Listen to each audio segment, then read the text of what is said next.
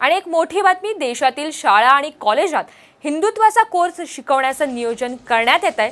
सरसंघचालक मोहन भागवत यांच्या अध्यक्षतेखाली रायपूर इथे झालेल्या राष्ट्रीय स्वयंसेवक संघाच्या अखिल भारतीय समन्वय बैठकीमध्ये त्याबाबत चर्चा झाली.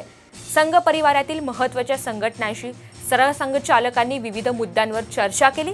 जर अमेरिकेत आणि इंग्लंडमध्ये हिंदुत्वाचे शिक्षण घेता येत असेल तर आपल्या देशातल्या विद्यापीठातही हिंदुत्वाचं शिक्षण द्यायला हवं अशी प्रतिक्रिया बैठकीनंतर संघाचे सरकार्यवाह डॉक्टर मनमोहन वैद्य यांनी दिले विशेष म्हणजे जी डी पी ऐवजी भारतीय मानक इंडेक्स तयार करण्याबाबतही या बैठकीत खल झाल्याचं वैद्य म्हणाले.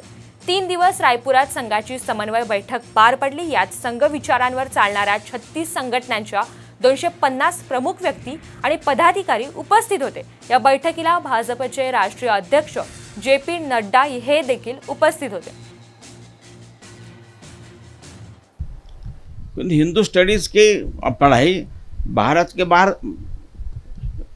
यूएस में और यूके में हो रही है। तो, तो यहाँ भी होनी चाहिए ना?